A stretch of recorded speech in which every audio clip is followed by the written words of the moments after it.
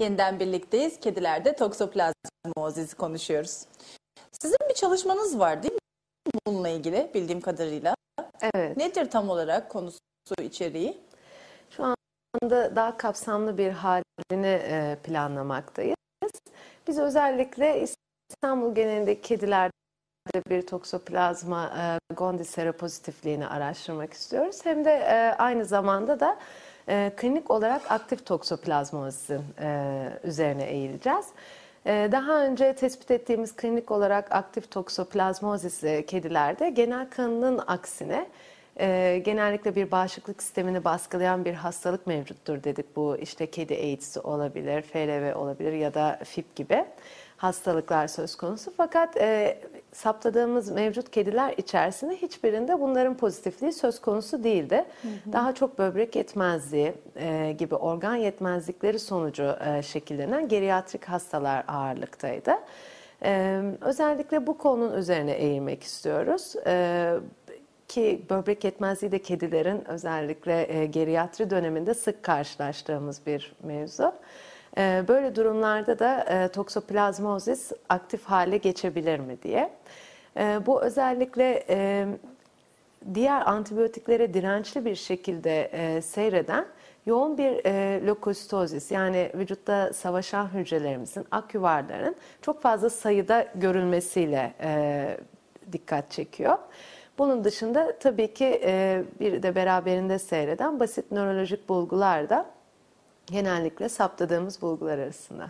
Aktif e, toksoplazmoziste her zaman lökosit sayısı da yüksek oluyor mu yani? Bu bir Her zaman kesin bir şey mi? diyemeyiz. E, bu daha çok bir nötrofili ya da monostoz e, şeklinde seyirli. Fakat e, biz e, 23 kedimiz vardı bu konuda tespit ettiğimiz. Onların ortalama rakamı 50 bin gibi bir rakam olduğu için oldukça da yüksek tespit ettik.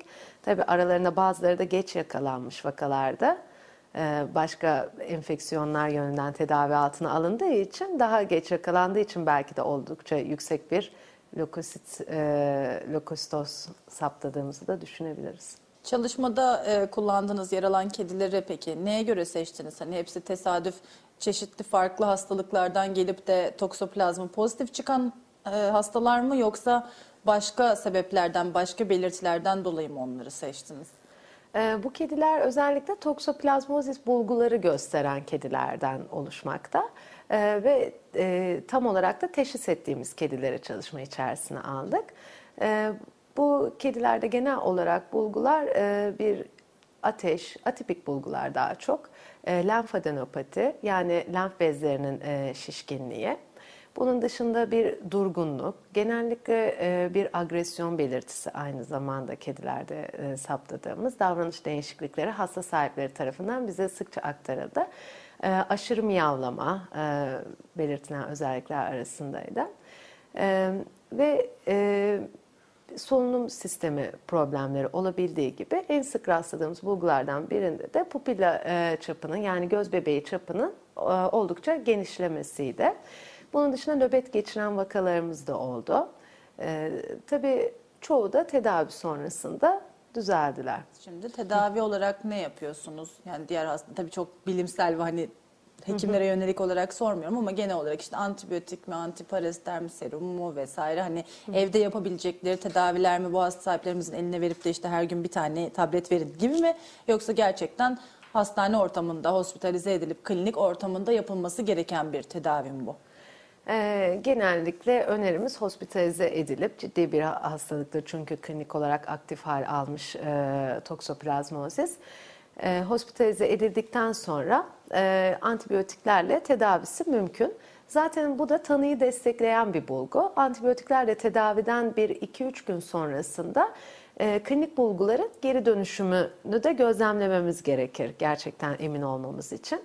E, en geçerli tedavilerden biri klindamisin ile tedavisidir. Bunun dışında sulfadiyazin gibi çeşitli antibiyotiklerden de faydalanıyoruz. Sohbetimiz çok güzel, ortamımız çok güzel, şöminemiz yanıyor çıtır çıtır ama sokakta tabii hayvancıklarımız var, üşüyen, e, aç belki de.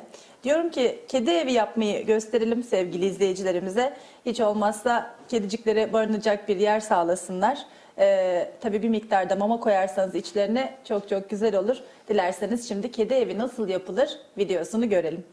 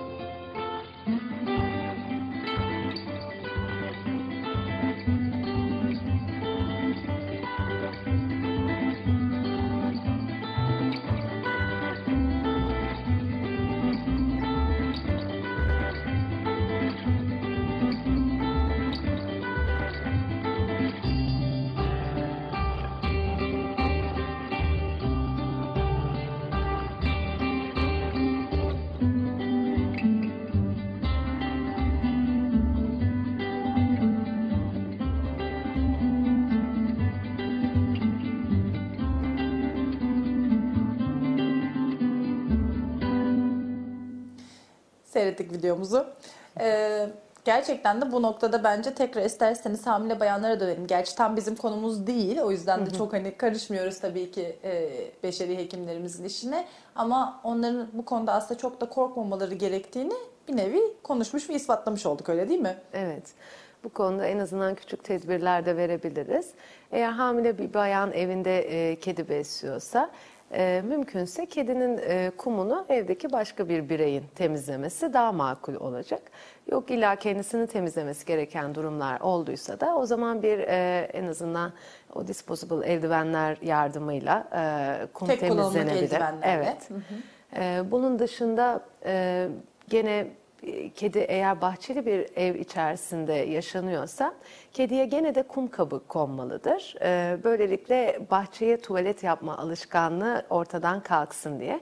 Çünkü çocuk olduğunda da ileride çocukla aynı bahçede oynarken gene kedi dışkısıyla bulaşık bir ortam yaratmak istemeyiz.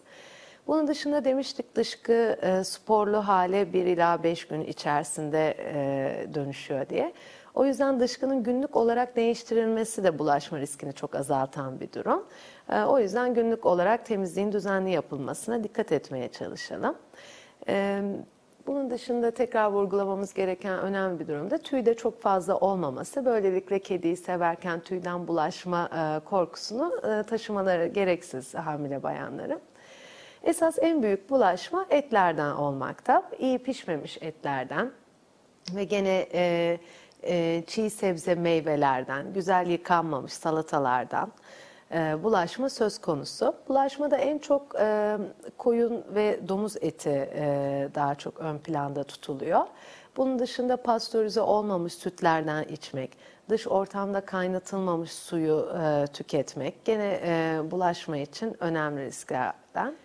Ee, gene bahçeyle uğraşan bayanların e, ellerine toprakla uğraşması esnasında kontamine olmuş materyaller de kullanıyor olabilirler. O yüzden mutlaka ellerine gene eldiven takarak bu işlerle meşgul olmalarını önermekteyiz.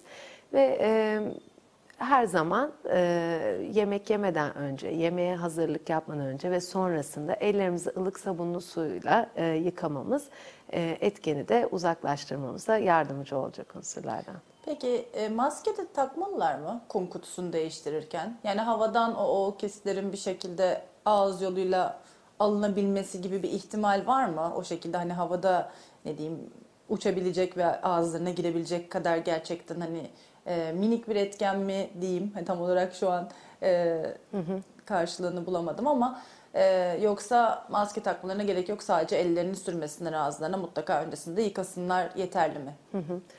Ee, bu konuda önerilen genellikle e, ele eldiven takılmasıdır. Maske çok da önerilen bir şey değil. Muhtemelen bulaşma bu konuda minimal düzeyde olabileceğindendir.